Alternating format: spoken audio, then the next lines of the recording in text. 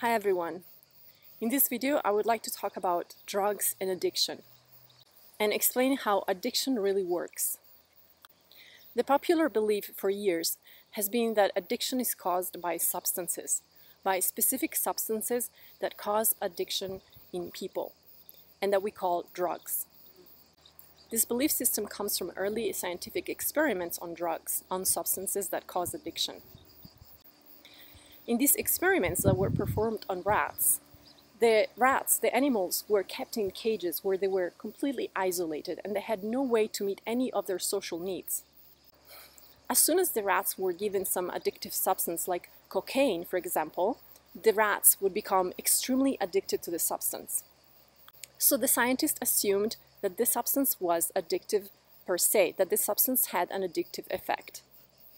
But more recent studies have shown that drugs alone are not responsible for addiction. There is a more complex underlying mechanism. And in particular, with more updated experiments where the rats in, that were tested were not isolated in cages, but rather were in a very um, fulfilling social environment with other rats, with stimulation, the same rats would not get addicted to the same substances. So, for instance, if cocaine was given to these socially fulfilled rats, the rats would taste the cocaine, but they would not get addicted to it. These scientists also observed the fact that not everybody gets addicted to the same drugs. For example, when a patient undergoes a surgery in a hospital due to an accident, and they're given very strong addictive substances like morphine, they don't necessarily get addicted. They can go back to their normal life and keep living like before without becoming hooked to the morphine. Same goes for soldiers who come back from the war and who were given substances during their military service. Not all of them become addicted to the substances, but some of them do. So what really underlies addiction? Now in this video I want to propose you my theory, which is actually an extremely simple explanation of how addiction works, and quite logical really. Now addiction, unlike the popular belief, is not so much about the substance that we use, but it's about how we use it. And it's not constrained to only certain specific substances, but almost to any kind of substance. And addiction happens in the following dynamic. When we use a particular substance in order to replace and to simulate the satisfaction of a certain real need that we actually have, but without actually satisfying the need. I'll repeat that. Addiction happens when we use a substance or a behavior or anything really to simulate the satisfaction of a real need that we actually have, but without actually satisfying the need. So we give us the simulation of the satisfaction of the need without really taking care of the need. I'll give you an example.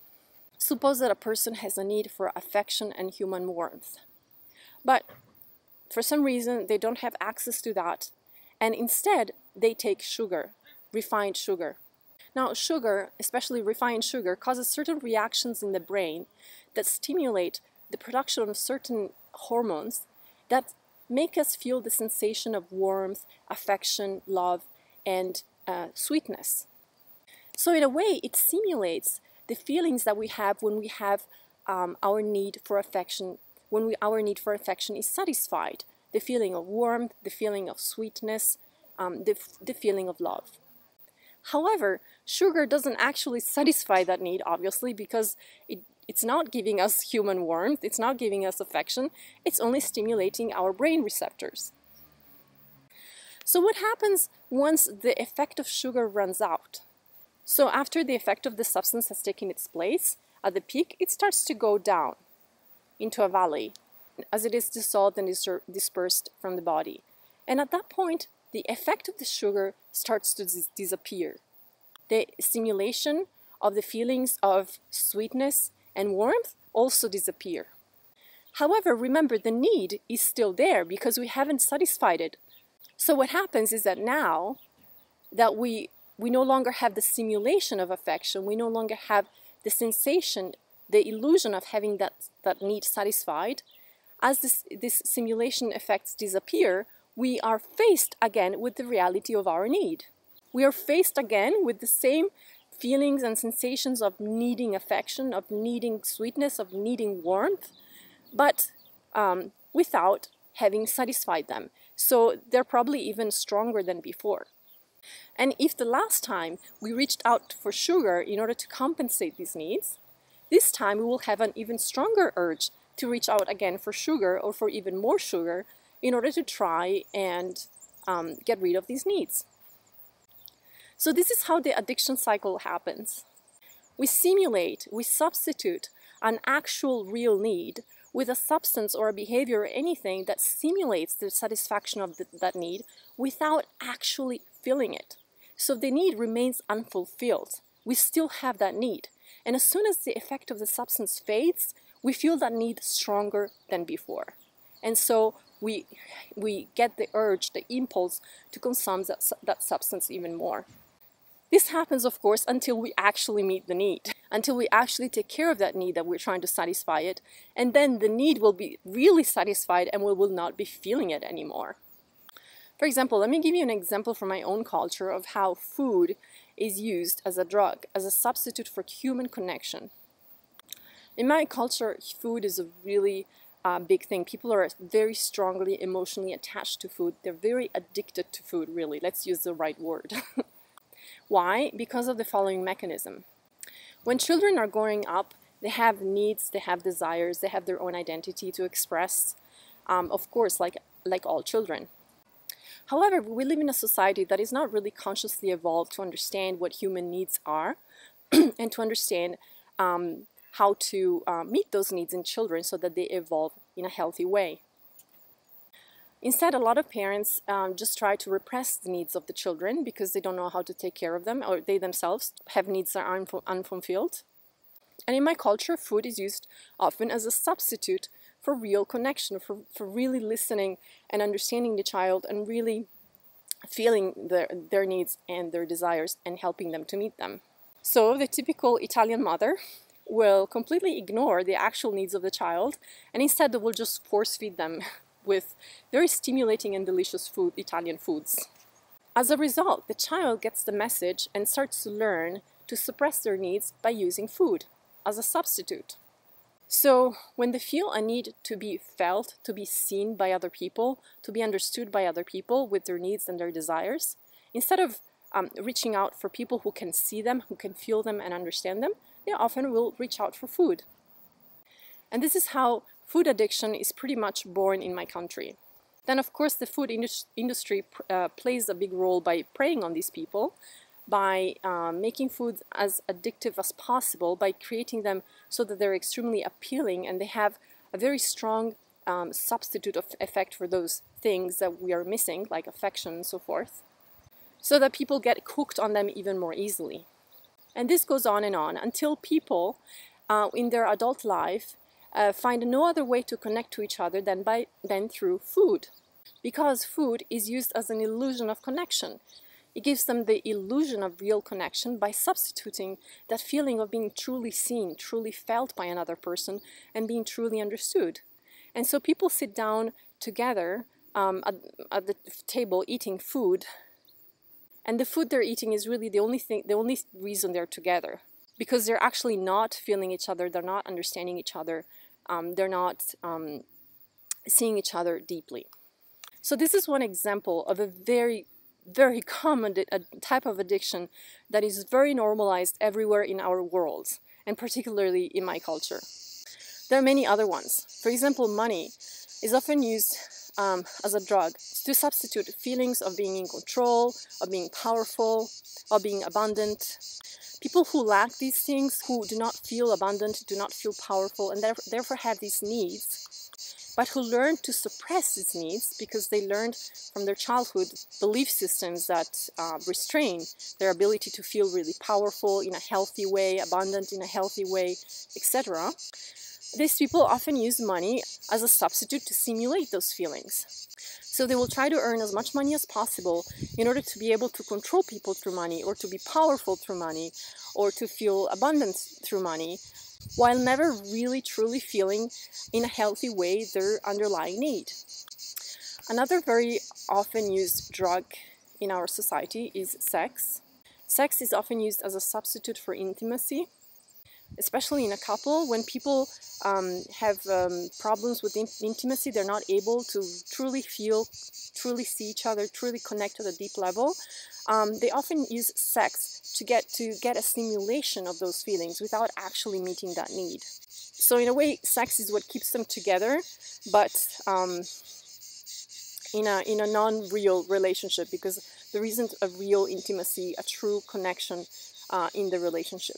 There are many other examples of many things and substances and um, actions that are used as drugs in our world, and they're they're absolutely not limited to what we normally consider drugs, like cocaine, heroin, and so forth. There are many, many more, and many things that are considered normal are very, very often used as drugs. So again, it's not the thing itself; it's how you use them that makes them addictive.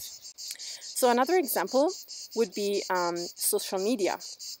Social media can be used as a drug in the following way. It can be used as a drug to substitute for the real needs of a feeling of significance or a feeling um, uh, of attention from other people and so forth. These are real needs that need to be fulfilled in a healthy way by getting healthy attention and by, by getting a healthy uh, feeling of significance uh, that is real. However, often these social media act as a substitute by giving us a simulation of a feeling of significance and a simulation of a feeling of having attention from other people that substitute the real need. And this is how social media can also get addictive. Other typical drugs that are widely used in our culture, like smoke, and which are actually called drugs like smoke, um, alcohol, caffeine, they also simulate certain things. For example, caffeine caffeine in coffee simulates um, the feeling of movement. And so it gives us the illusion of that we're taking action, that we're moving when we're actually not. And that's why it is one of the drugs that is one of the favorite drugs for people who work in offices where they're sitting the whole day and they have that need to feel that they're moving because their body their body really has a healthy need to move because that's what a healthy body needs to do. Alcohol is usually taken as a substitute for, for allowing ourselves to be our true, authentic self. Um, a lot of people, um, of course, repress their true identities because we grew up in a society where, um, we're, we're taught that many of our authentic parts are not acceptable, are rejected, are not loved. And so a lot of people are restrained and do not fully show themselves authentically to other people. And alcohol gives us the simulation, the feeling that we can truly show who we really are. Another very common thing that is used as a drug is materialism. By materialism, I mean focusing on the material world, on the physical, objective, external world, rather than the internal world, the esoterical world, the con our consciousness, our inner world. And this is often done as a simulate in order to simulate our need for understanding. So in order to, for, to achieve a, a healthy and fulfilling understanding of life and of, of things in general, we both need to explore the external world and the internal world. But because the exploration of our internal world has been so rejected and suppressed, especially in Western society, a lot of people um, overly focus on the external world in order to uh, simulate the fulfillment of that need. This is especially typical, but not necessarily limited, to scientific and technical circles. And by the way, the opposite can also happen. For example, a person can use the inner exploration as a drug as well. Again, in order to achieve a fulfilling and healthy feeling of understanding um, of a world, we need to both explore the inner world and the outer world. But some people have rejected their outer world exploration and completely focus only on the inner world exploration, giving them a simulation of a true understanding when they're really actually not um, paying attention to the external world. And this is very typical in many spiritual circles and religious circles. So as you can see, pretty much any behavior, any action, any substance can be used as a drug. It's really not the thing itself that is the drug, it's the way we use them. If we use them to substitute for a real need, we then will get addicted because we're not actually fulfilling in our need in a healthy, real way. Um, we're giving us the simulation, the illusion of feeling the need while not really feeling it. And that creates the uh, cycle of addiction. So how can you tell the difference between actually meeting a need and using a drug to give you the illusion of meeting the need? Well, it's really simple. When you actually feel your need, you don't get addicted to the thing that is filling your need. Because guess what? Your need is filled and you feel full, fulfilled and completed. You're not to fall into a low of the substance you're using where suddenly the need, the need becomes even stronger than before because the need has been fulfilled. it's really that simple. So whenever you feel addicted to something, whenever you feel drawn irrationally to something or overly drawn to something, especially if you think that that thing is not really good for you or you don't feel that it's really satisfying you at a deep true level, then that is that is a pretty um, clear sign that you might be addicted. Also, another pretty good sign is that if it's something is really filling your need, then it's not likely that you're to find someone trying to sell it to you, uh, trying to force you to take it. So if you feel that you're being bombarded with that thing, like for example, commer- through commercials, or people are really trying to convince you to get that thing, then that might be also a good sign that that's not actually fulfilling your need. Because that kind of hustling, that kind of um, trying to force sell things to people usually comes from a space of lack from that person who is trying to use the lacks of other people to feel to simulate the feeling of their own lacks by basically projecting their addiction onto others. Well, I hope this video was um, exhaustive enough. I, um, I don't make a lot of videos in English. I usually make them in my language, Italian. So because my English videos are rather new, a lot of the topics I'm talking about might sound rather new to you. Anyways, I hope to make more videos in the future and please leave in your comments, your feedback, whatever in, in down below. Thank you for listening and have a nice day.